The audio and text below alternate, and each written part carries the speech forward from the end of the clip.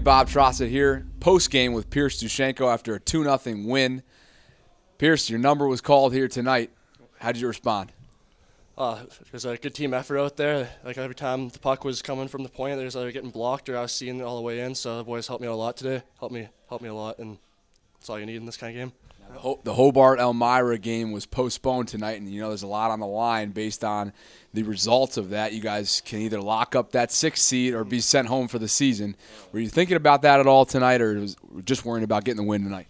Uh, just worrying about getting the win tonight. It was just kind of get on the right note after a few hard games the last couple of weeks. We've had some ups and downs and not getting the bounces we needed, but today we got back on the right track, and that's what we need right before playoffs. If it comes, if we get there, hopefully. How do you go into a game like tonight, having lost five in a row, and you come out with the victory?